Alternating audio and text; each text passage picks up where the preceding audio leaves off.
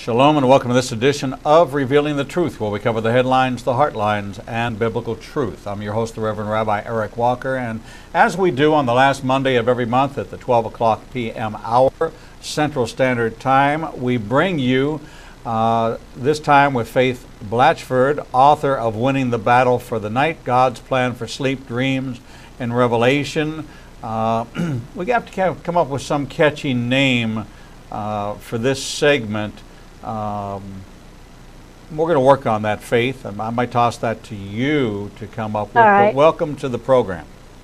Thank you, Eric. It's great to be with you and all your viewers. Well, we're excited. We covered the release of the book uh, back on July the 4th when it came out, uh, 2017. We were so interested in this idea of sleep that we invited you to be a regular contributor. You were here with us in August for your first segment as a regular contributor to the program Revealing the Truth. And now, next one, so you're becoming family, a part of the team here, uh, the Yes. part of the cast of, uh, of thousands, hundreds, six uh, that we Yeah. have, and we're very delighted to have you. Uh, tell me, you're getting now, the book's been out there for a couple months, people are reading it. Uh, it's had some impact, and you've heard some pretty stunning testimonies that have uncovered for you some of the global issues with sleep. And I want you to share with our audience one of the emails you just got from somebody that you said 55 years they've been struggling with insomnia. Yes, 55 years. I mean, Wow. that's that's more than a lifetime, you know, when you're suffering like that. And uh, one of the aspects is always anxiety and fear, fear of the dark, and just general fear. And so this lady said wrote me and she said as she began reading through the book i think she said by the time she got to chapter 5 she had been so impacted that she has no longer she's no longer experiencing any issues she's sleeping so that is a tremendous testimony and testimony do it again lord you know for all the people watching and listening that because it's a it's a horrific problem in in globally, not just in the U.S. but worldwide. I think statistically, 90% of the people who experience insomnia experience anxiety, or that's the clinical term. We just call it plain old fear, and it's true globally. Western Europe, the Middle East, statistics show maybe a little less anxiety but still way up there, 80%. Wow, I'm, um, it, makes me appreciate my sleep patterns so much more. I, I fall asleep, my head hits the pillow, I go to sleep, I get seven, seven and a half hours every single night without fail, unless I'm fighting an infection. And then my sleep is interrupted. And the mm-hmm. first time it's interrupted, my mind plays with the idea of wonder what's bothering me that I'm up. So I go to look at all my circumstances in life. I go to look at all the pressures. I go to look at the, the ministry, the network, people. Maybe this is a time of intercession. Lord, what is it you want me to? And I don't recognize immediately that I might be fighting an infection. Then the second day, um, I um, it occurs to me I don't feel right, but I always attribute that to not having a good night's sleep. The third night, I then realize, oh, maybe I'm getting like a sinus infection, or and I have those recur over the years. Had them as a kid, probably mm-hmm. one a year. Get have a regular routine. So then I start on an antibiotic and all of a sudden my sleep pattern and by the third night i'm struggling with i hope i can go to sleep Right. i really hope i'm not going to stay up tonight i really it's now three days and my sleep mm-hmm. is just completely interrupted and i'm so far off my pattern that that breeds its own form of anxiety Absolutely. related to a pattern of thought about being anxious about falling asleep. And i'm a regular great 362, 363 days of the year. I am rock solid, sleep through the night, don't hmm. wake up, don't have a problem. happy to go to sleep, like my bed, like my pillow, uh, like my environment. So I can see where anxiety uh, can really play a part in disrupting sleep patterns. Yes. And it's it's not just anxiety in the mind, but anxiety in the body as well. You know the scripture in Matthew that Jesus said men's hearts failing them for fear. And I think this, I don't think that was just a, a, mind thing. I think that we can look at a lot of the causes of heart trouble and find out that there is an element of anxiety that is has become a physical reality in somebody and it affects our heart. So it's not just the mind, not just the body, but then it's a spiritual dimension as well. I think that's why, you know, the Bible uses the word fear 365 times, and there are 144 verses that say, Fear not. So, God, our wonderful Heavenly Father, knew that at least, you know, every couple of days, we were going to need that word, sweetie, fear not. It's okay. I'm your daddy. I got you. But uh, one of the things I think there are probably three different types of fear that affect people at night. And one is this nebulous fear of the darkness which I deal with probably almost a whole chapter in the book. And the second one is fear of criminal activity. Studies have been done that reveal that a lot of people's fear, some people won't even get out of bed and go to the bathroom because they're afraid of some robber breaking into the house. And the third is when you think about what people are dealing with in their mind, it is fear of the future. It's fear what's going to happen to my finances? What is this phantom pain that I'm having? Do I have cancer? What about my children? But it's all foreboding, fear of the future. And that's where God's word, once again, you know, Jesus said, listen, don't worry, have take no thought for tomorrow. Why? Because your heavenly Father knows what you need. So the key is thank God for pills and medication. Thank God for self talk and changing our brain. But most of all, it's the spiritual dimension, the God factor you know, when you're talking about fears and Scripture, God says, "Fear not." I'm reminded in the Greek, there's three three names for love. Mm-hmm. Just 3 mm-hmm. But in the Greek, there are over 2,500 different named phobias and fears. There's a fear of peanut butter sticking to the roof of your mouth. There's a fear of chickens. Mm-hmm. Uh, there's a fear of the Pope. It's it's it's uh, popophobia or, or popopopophobia or something. Right. There is. Uh, um, listen to this one. Hippopotamus strossocupidaliophobia. That's the fear of long words. We have fe- so many fears that uh. they have the top 100 uh, listed on the fearof.net. We have mm-hmm. glorified fear in this country. I am a yes. blackout curtain. I mean, I have two layers of blackout curtains. I like mm-hmm. it when it is pitch black. It's so dark in my room at night that the light from the green light from the smoke detector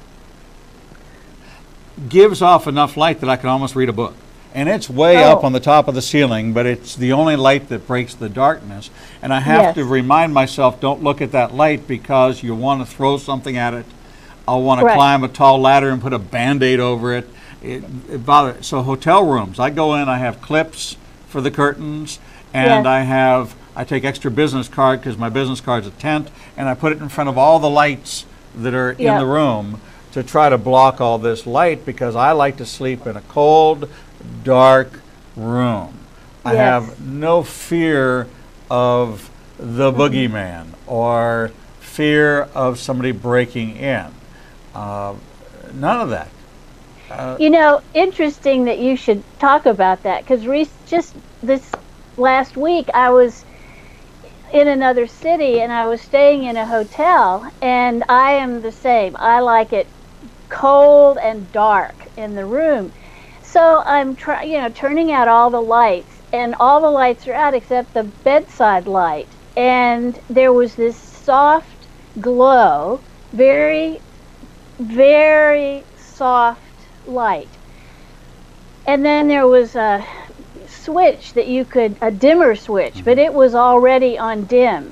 And do you know that light could not be turned off at all? And the cord was way around behind this huge big bed that I couldn't even get to. And I thought, you know, I wonder if this is, you know, the hotel world catering to the fact that people are so afraid of the dark that there is this night light that is very soft, very, you know, not disturbing to someone who's afraid of the dark. They Right. feel safe. I have never experienced that before.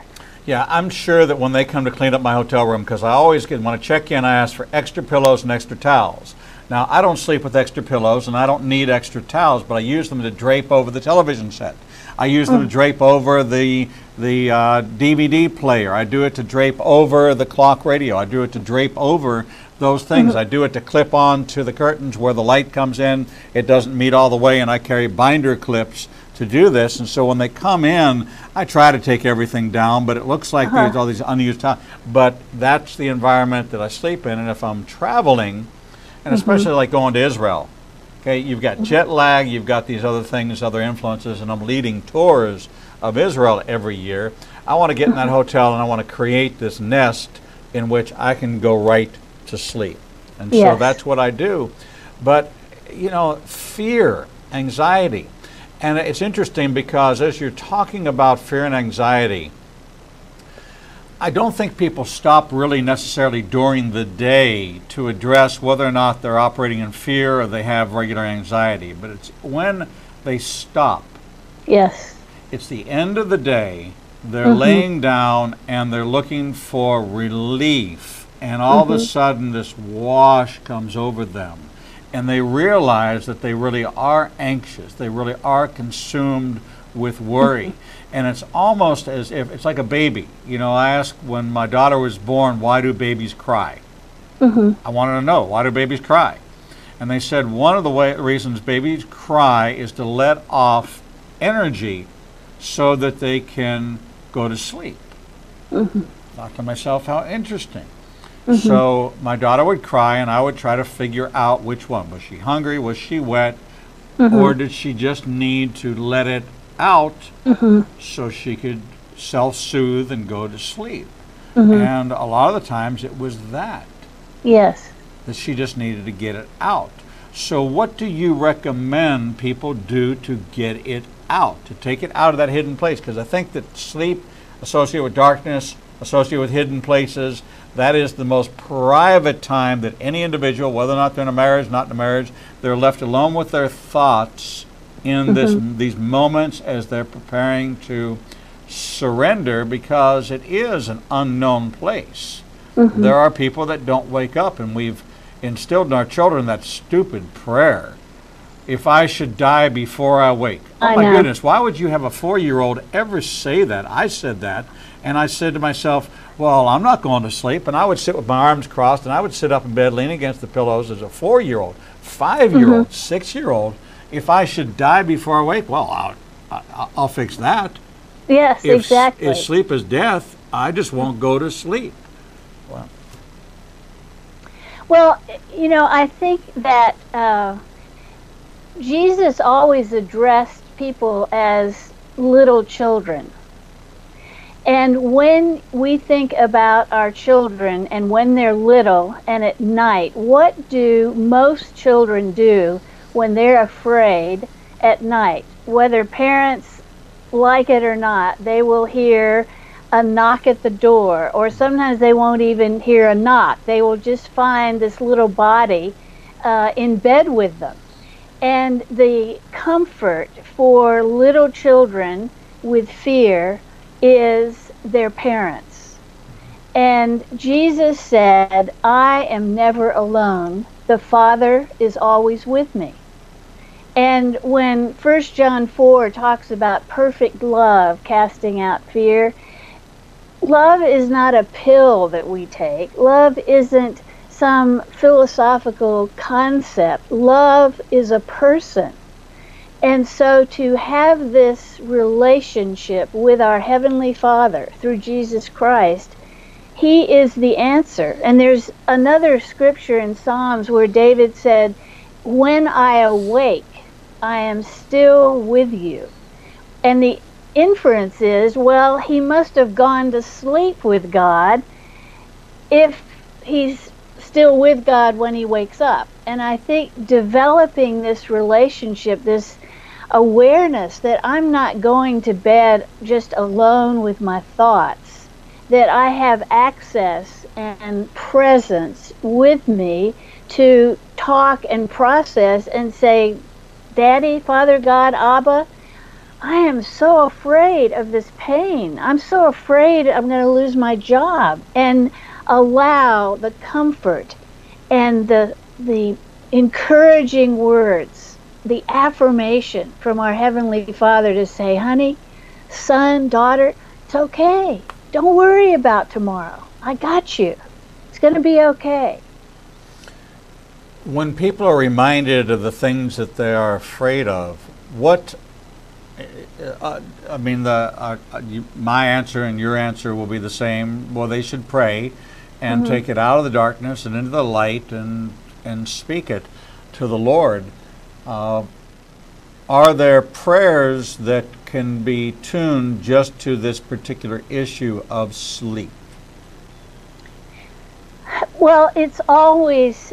I mean, I think our prayers and our thought life ideally is to be founded on and born out of the truth of the Word of God. That's why the scripture talks about being transformed by the renewing of our mind. And so these wonderful scriptures where the Word of God says He gives His beloved sleep.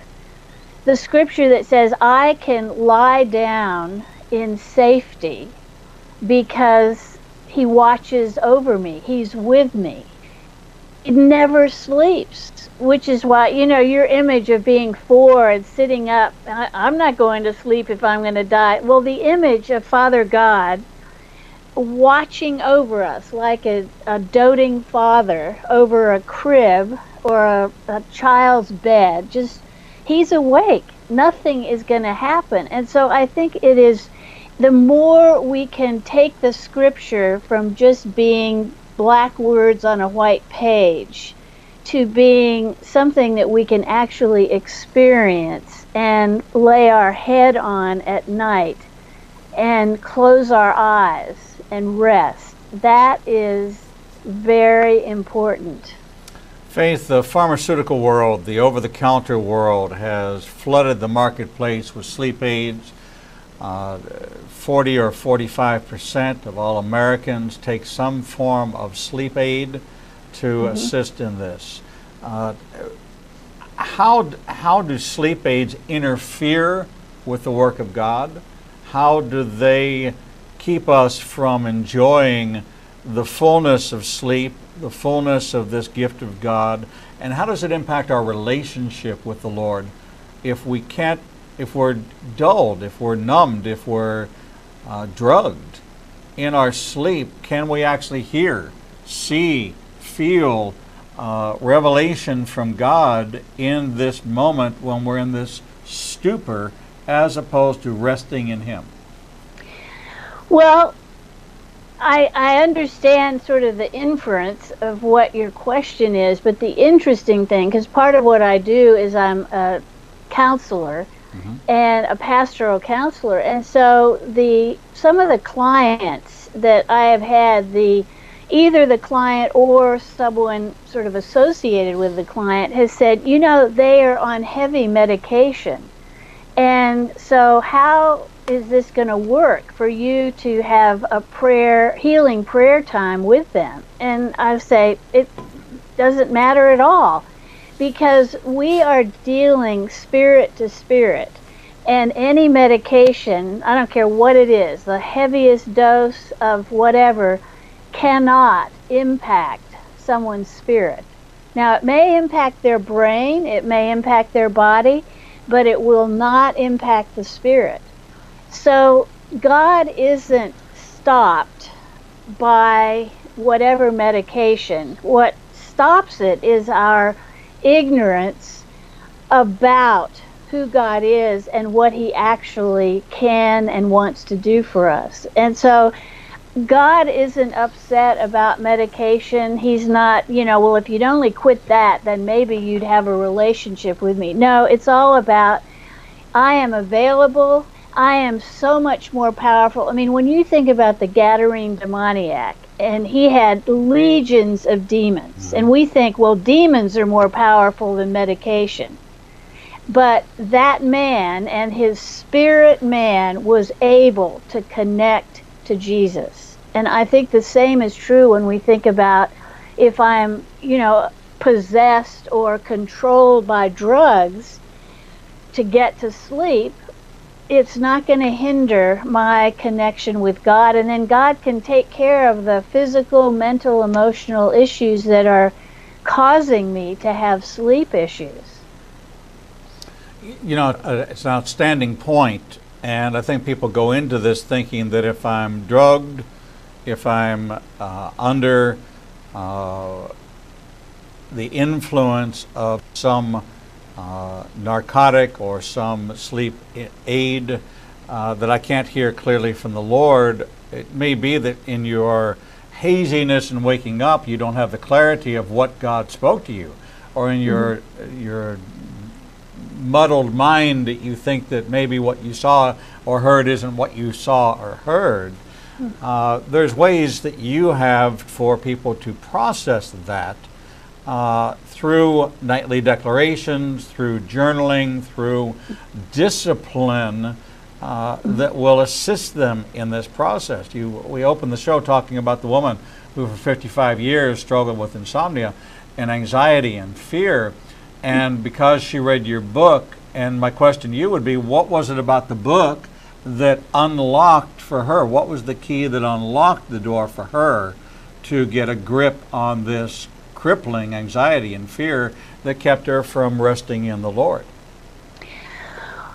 She didn't specify, but she did say, I think, through chapter 5, and chapter 5, I think, is the chapter that deals with fear and the darkness. Mm-hmm. And so the revelation of that in that chapter in the book, uh, truth sets us free. And fear, you know, is the acronym fear, F E A R, false evidence appearing real. And so when we get the truth, we just completely blow to smithereens the lies that fear is based on. Yeah, and I like the one FEAR, feeling everything and reacting. And so we. Oh, I like that. Yeah, that's you know because we are, we're supposed to walk by faith and not by sight. We're not supposed to walk. It's not. Uh, feeling is in the soul, not in the spirit. Feeling is in the mind, will, and emotion, where we tend to to honor all of our feelings. Mm-hmm. And God's not the God of feelings. He is the God who speaks directly into our spirit, as you said, spirit man, the spirit to spirit connection with God. Mm-hmm. Uh, mm-hmm. Chapter 5 is My body was designed for sleep. One third of your life is to be devoted. And mm-hmm. if you take that eight hours as adult, and then you back into that the first 15 years where you are sleeping 20 hours, 25 hours, it's actually more than a third when you front load it the way you do. Uh, right. and, and we spend so little time addressing this very important place where we're still long enough for God to speak to us, as He did with Joseph, as He did with Abraham, as He did with Daniel, and so many others. We're talking with Faith Blatchford about this idea of winning the battle for the night, God's plan for sleep, dreams, and revelation. When we come back, we're going to talk about this concept of biblical encounters with God at night, how you too can position yourself to not only sleep, but to hear from the Lord. Everyone desires a message. Everyone desires to, to hear and receive a personal message from God. You mm-hmm. can have that. You can have that every night if you prepare yourself in the way of receiving. Mm-hmm. We're going to take a break and we'll be right back. Shalom. I'm the Reverend Rabbi Eric Walker, Executive Director of Igniting a Nation and host of the daily TV program Revealing the Truth, seen live every Monday through Friday from 9 a.m. to 1 p.m. Central Standard Time at www.ianbn.com and then replayed throughout the day and night via our website. All of our segments can be seen on the Igniting a Nation YouTube channel. Since our launch in January of this year, we've expanded our global reach to over 54 countries with a social media following of over 125,000.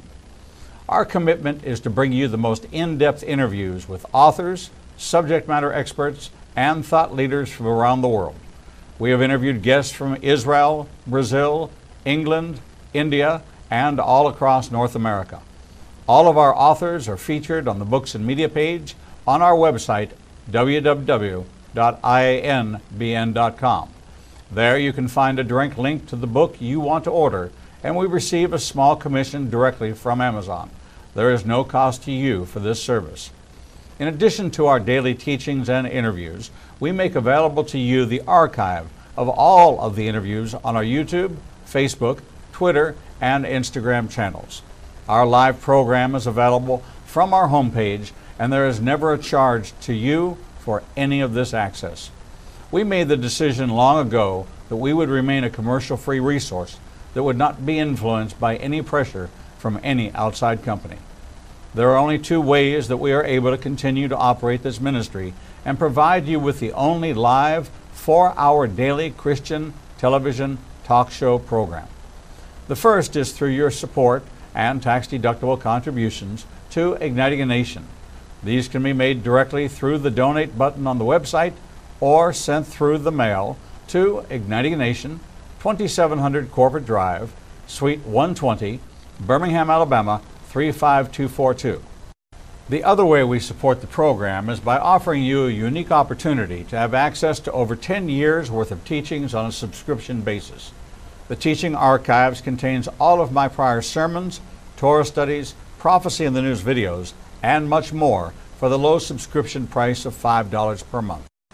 This subscription grants you unlimited access to over 800 hours of content not available elsewhere and is updated weekly with the most current prophecy classes. In addition to 20 hours of original TV programming each weekday, we invite you to join us live every Monday, Tuesday, and Thursday evenings for our Prophecy in the News classes. The times and locations are listed on our events page on the website www.ianbn.com. Every day, you and I are faced with the challenge of where we will go to hear the truth.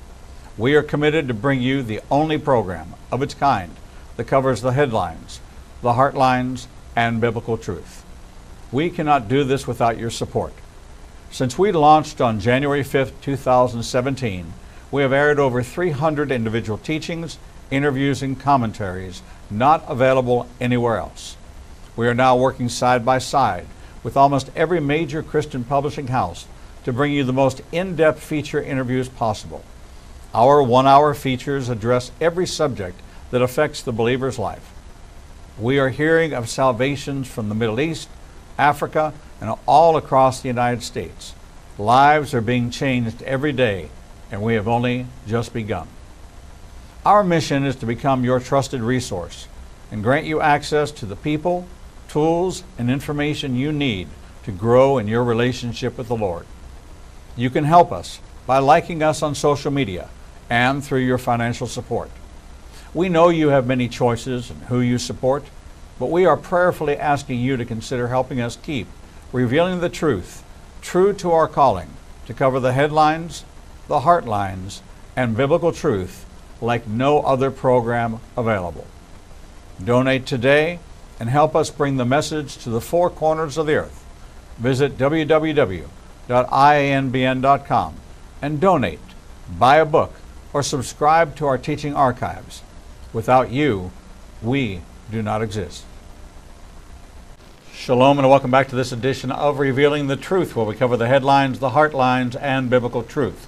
I'm your host, the Reverend Rabbi Eric Walker, and we're visiting with Faith Blatchford, author of Winning the Battle for the Night God's Plan for Sleep, Dreams, and Revelation. Faith, welcome back to the program. Thank you. You know, Faith, the reason why we decided we wanted to have this as a regular monthly spot here on the Igniting Nation Broadcast Network and on Revealing the Truth, where we talk about sleep, is because this is universal. Everybody has this in common. Even those mm-hmm. people that believe in other religions, even those right. people that follow Islam or, or Buddhism or Hindu or anything, we all as human beings have to sleep in order to function. Yes. And uh, there was a point in your life when you, you struggled with sleep. You thought you were unproductive if you slept. You thought it was a waste of time, and you looked at other people that talked about, and you looked at people in the Bible. 5 mm-hmm. specific stories of the Bible that all mm-hmm. dealt with sleep, and it kind of ignited in you a jealousy. Take us through some of that and what really became this. I don't want to call it crusade for sleep, but it is almost a crusade. You've got this banner of the Z's. It's just the, mm-hmm. you know, give me a Z, give me another Z, give me another Z. I can see that. Yes, I can too. Well, you know, I think there are two groups of people who have a sleep deficit, and some of them are the ones, 70 million, are the ones with insomnia. But another, at least 70, 90 million people in the U.S. alone suffer sleep deficit because they are workaholics or they just have no value for sleep. They think it is a waste of time. And that was my story. I mean, I, I didn't suffer with insomnia, and I didn't think I was suffering by only getting four hours of sleep at night. Mm. For me, it was way too much to do, and things I liked to do. It wasn't I was taking work home. I was just interested in everything. And then there was the spiritual dimension of if you're going to be a good Christian, you've got to get up really early and pray. And then I love sports so I was out on the practice range hitting buckets of g- golf balls at five in the morning. Well, you know, burn the candle at both ends. But I, I mean, I had no clue of the detriment that it was causing to my health or mental acuity. But I had friends who dreamt, and they had historic you know, amazing dreams. And they would keep talking about them. And I had to listen, and I had nothing to contribute. And I didn't like that. So I finally shared with a friend and said, you know, I, I'm actually jealous of you. And she laughed at me, and I was offended at that too. And she said, Faith, you don't sleep enough to dream. Mm. And so God's hook for me to cause me to look at this topic. I had never heard a sermon, a teaching, anything on sleep in the church. And I'd been a believer since I was 15. And that's a lot of years of going to church and going to conferences.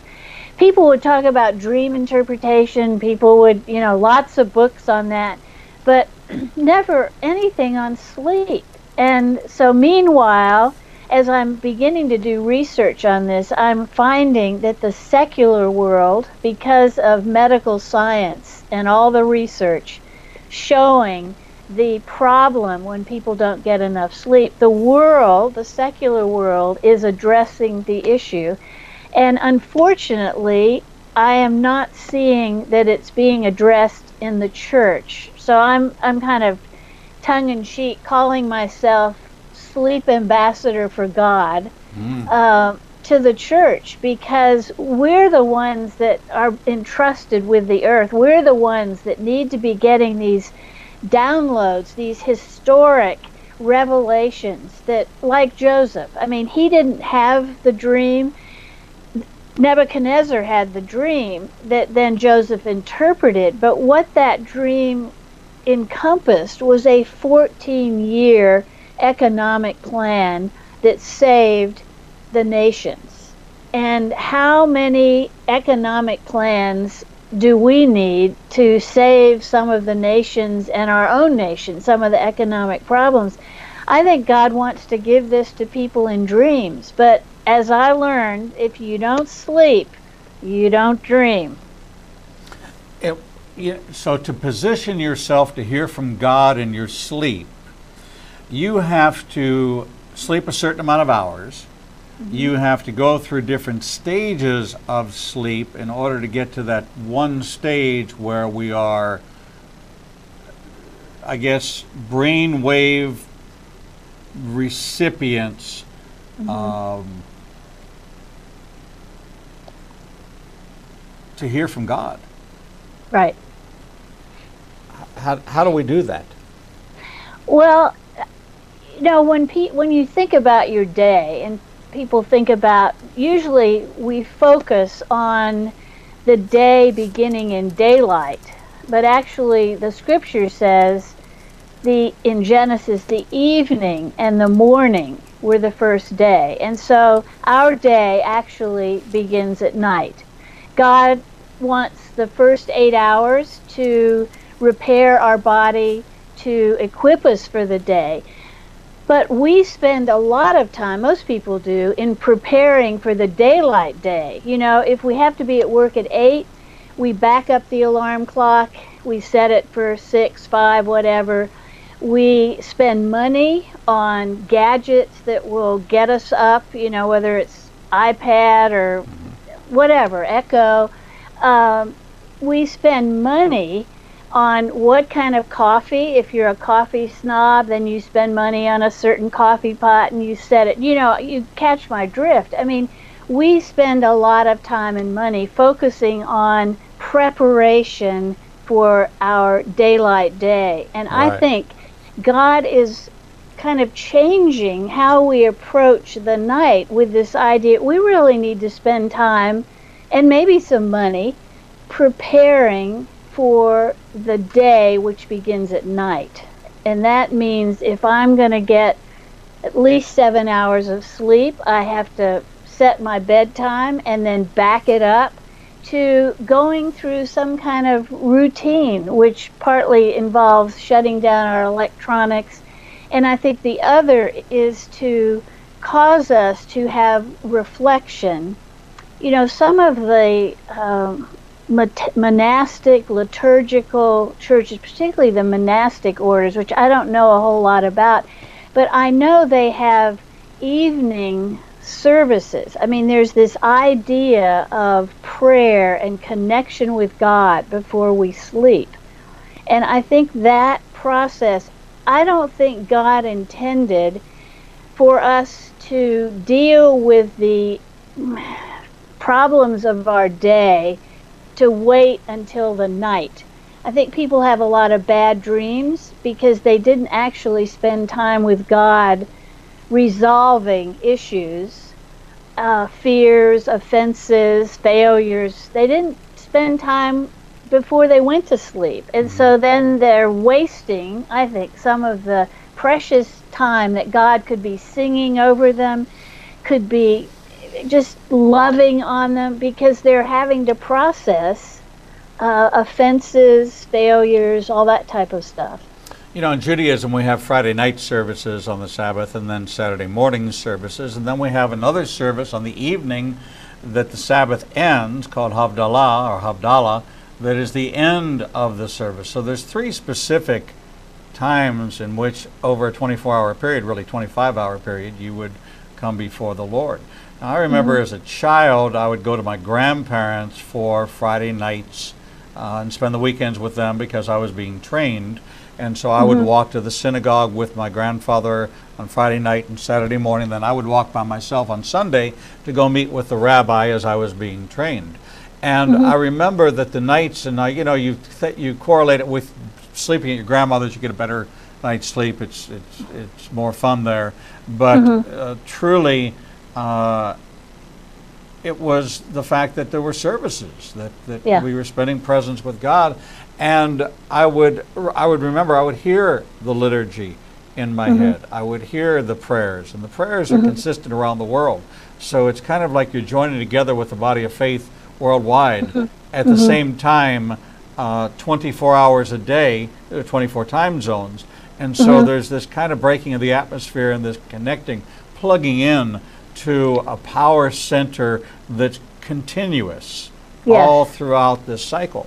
Uh, so um, uh, it's just uh, fascinating to me as you make these connections that, um, and it very well may be, and, and we talk about this, and we've talked about this.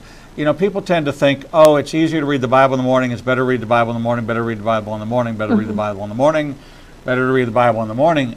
But what about it was the last thing you did at night if you prepared the way? Yes. You set your mind to things above as opposed to the things below.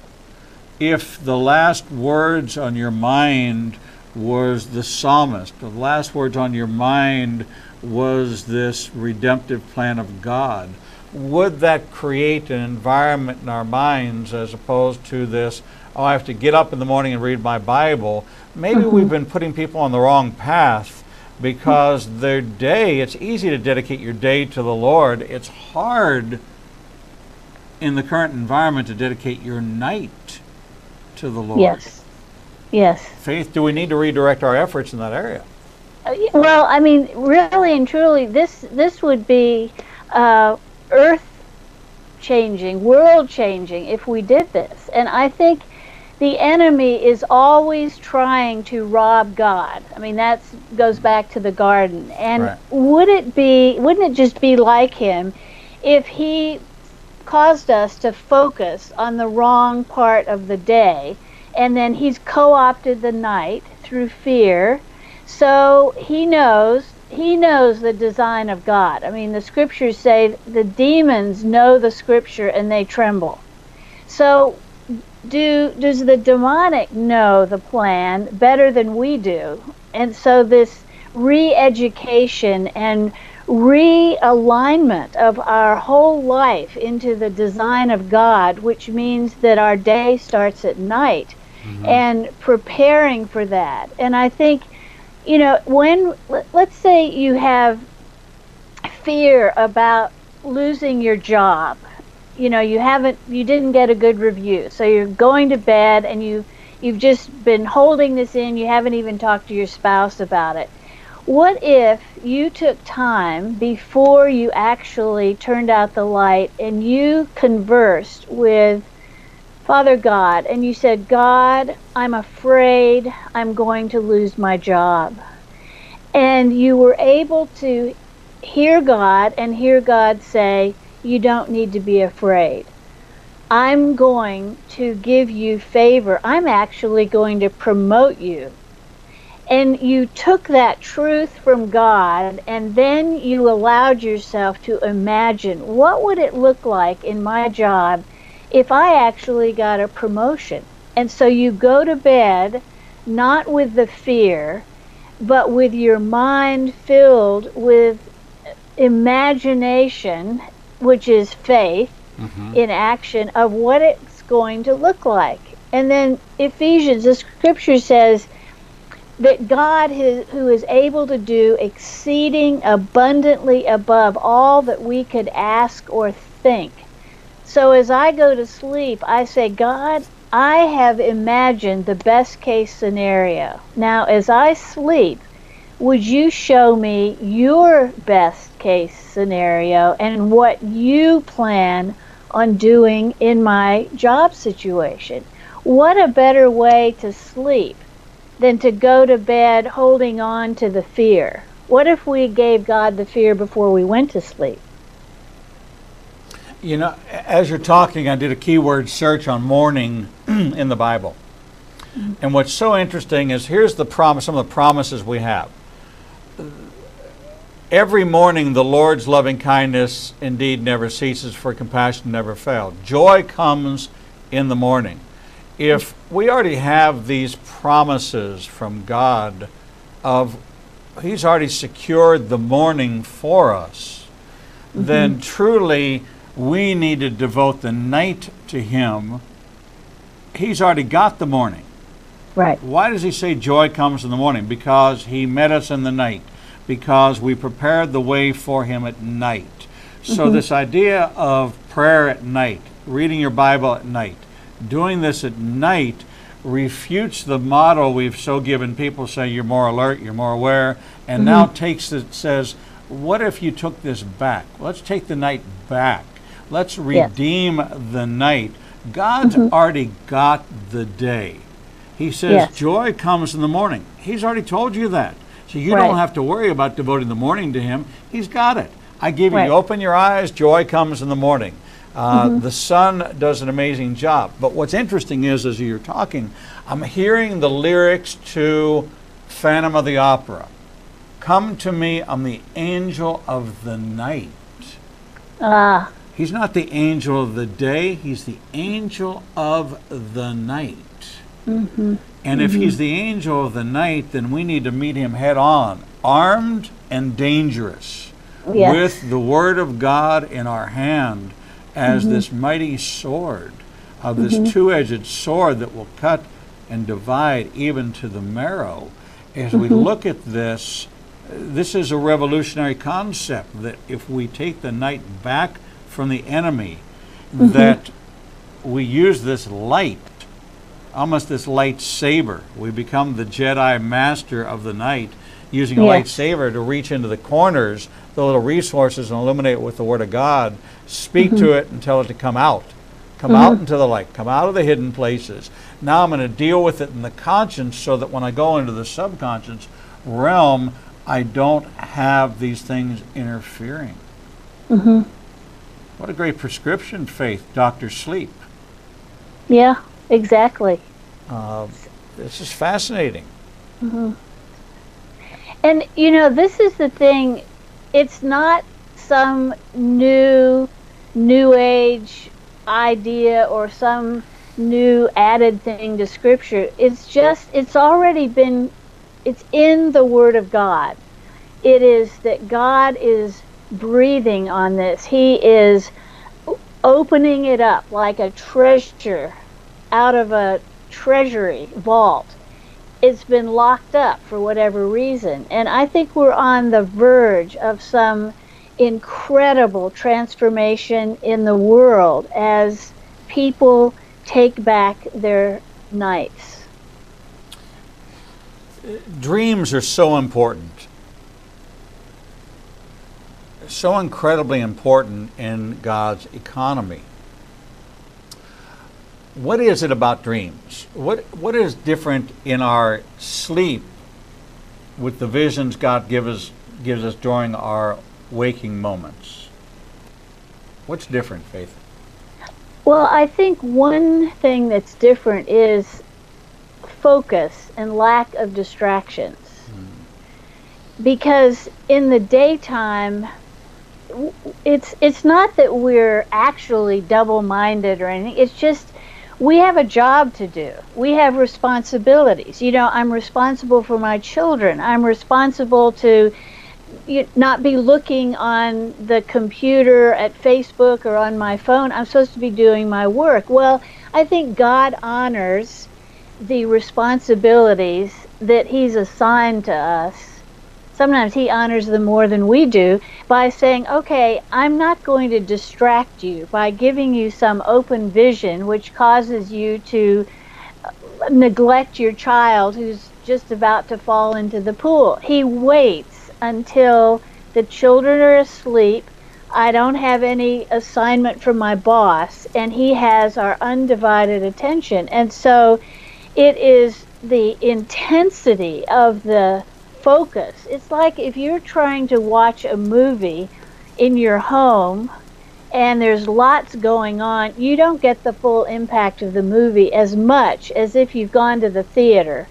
And that's all there is to do. The phone's not ringing, the kids aren't crying. It's just you're focused on that huge screen and you get the full impact. And that is what a dream at night is like. It's the full impact, you know, the IMAX movie on the screen of your brain. So the visions we have during the day, which might be fleeting, might be quick and just uh, uh, here and then gone. Mm-hmm. Our dreams are in living color.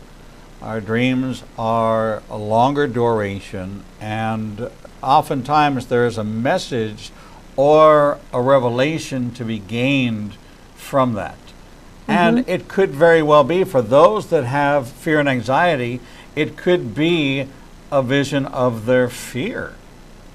Uh, you know, f- for example, I'm in media. We always have a certain fear of are we truly walking with the Lord in such a way that we're exemplifying that in everything we do? is mm. my flesh getting involved. Um, most people in media, in you know, we almost a fear of being exposed because we're all hypocrites. We're all walking out our salvation with fear and trembling. Uh, people hold us to a high standard, and we know that we fall short. So when we do fall short, is it is everybody watching when we fall short? So, mm-hmm. you know, dreams sometimes parallel that, and you find mm-hmm. yourself in your dreams in difficult situations where you feel exposed. Um, mm-hmm. That's a. It, it's not a recurring thing, but it happens periodically that you struggle with that. You know, there's a certain. Uh, it, it's hard because ministry and media you're mm-hmm. in a double glass house and right. you're getting fired at from every direction. And then when you put out editorial comments or you put out position statements and you lead with that, you have this other attack right. coming. Um, and you know, we all have history. We all have mistakes. We all have errors in our life. We all mm-hmm. came from somewhere. We're overcomers by the word of our testimony and the blood of the right. Lamb. Uh, you know, so that's that's something that that that happens, and that's real, and that's important that we mm-hmm. face mm-hmm. those fears or those insecurities. Right. Uh, but but God is it does work in that way, and there are messages that God has waiting for people. And yes. imagine if you put your head on the pillow and said uh, your last words at night of affirming, say, God, uh, let me go to sleep so I might meet you where you want me where you mm-hmm. can reach me. Yes. Help me to receive what you would have for me in this wonderful night's sleep. Mm-hmm. Uh, when I first came to the Lord, I would sleep with the Bible on my head. I wanted nothing. It was almost like an aluminum hat. I wanted right. no, nothing to come in but the Word of God. I thought that yes. was, uh, you know, the, the washing of your of your mind um, with the Word. Um, Faith, do me a favor. Would you pray for our audience that is struggling with sleep and insomnia and fear mm-hmm. and anxiety, and kind of prepare them for tonight? Yes. So, Father, we thank you that over and over in your Word you tell us as your children, fear not. And that's 24 7. It's not just fear not in the day, it's to fear not at night. And I pray for all of those watching or who will watch this that starting tonight, they will be able to go to bed with the awareness that you are with them, just as a parent, a loving parent, would be present with a child who was experiencing fear, that our Father not only will be with us, but has already said, Don't worry about the future.